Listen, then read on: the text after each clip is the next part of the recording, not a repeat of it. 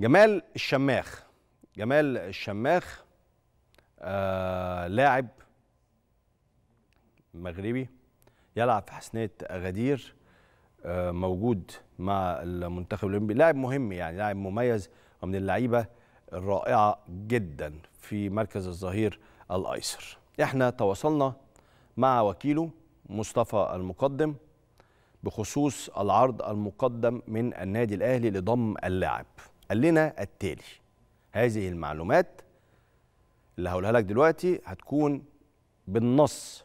اللي قالها لنا المصادر اللي إحنا قلناها الأول وكيل اللاعب. قال إن الأمور بتسير بشكل جيد جدا وإن اللاعب هيعود إلى المغرب يوم الخميس القادم بعد انتهاء معسكره مع ناديه في الإمارات.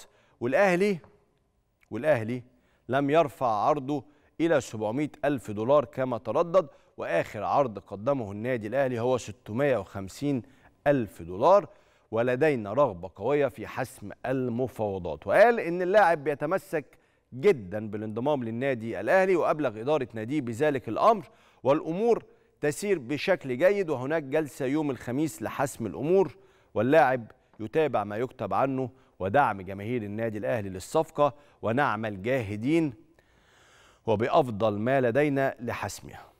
بس في نفس الوقت نفى لينا عبد الهادي السكتيوي المدير الفني لفريق حسنية أغادير الأنباء المتداولة في مصر حاليا عن موافقته على رحيل ظهيره الأيسر جمال الشماخ للانضمام للنادي الأهلي خلال فترة الانتقالات الحالية.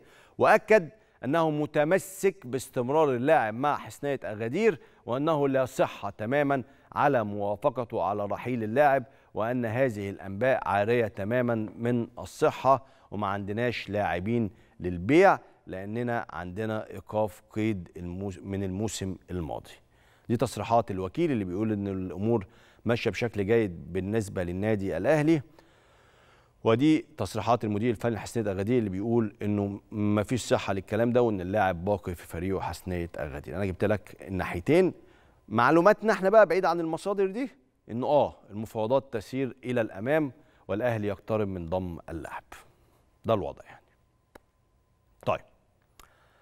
النهارده مصدر في النادي الأهلي علق لنا على تصريحات مارسيل كولر المدير الفني للفريق أمس الأحد خلال المؤتمر الصحفي بعد مباراة المقاولون العرب اللي قال فيها إنه معترض على الصفقات الجديدة.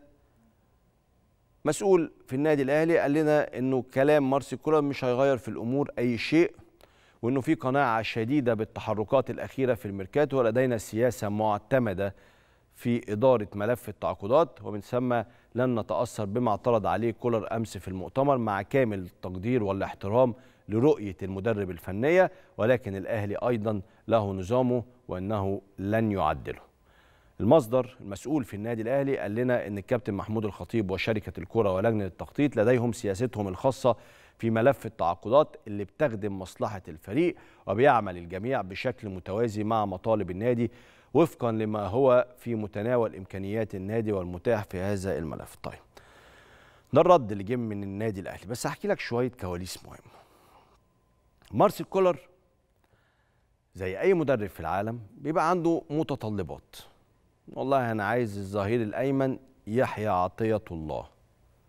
فالأهلي يدخل في مفاوضات لضم يحيى عطية الله فيحصل مغالاه في الطلبات فالأهلي ما يعرفش يتمم صفقه يحيى عطية الله. جمال الدين بالعيد المدافع الجزائري الأهلي كان على وشك ضمه فحصل برضه مبالغة في السعر اللاعب فالأهلي ما عرفش يخلص الصفقة.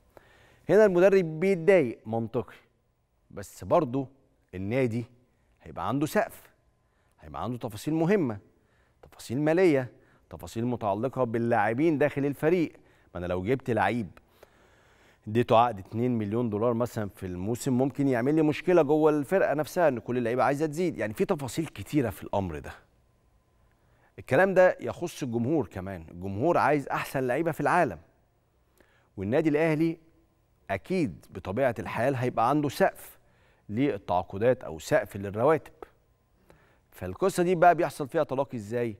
إنه النادي الأهلي إدارة النادي الأهلي لجنة التخطيط في النادي الأهلي بيقعدوا مع مارسيل كولر والمفروض يوصلوا له الصورة بالشكل السليم. بالشكل السليم عشان مارسيل كولر ما يتكلمش مارسيل كولر ما يتكلمش والناحية الثانية والناحية الثانية النادي الأهلي ما يبقاش مضطر يرد.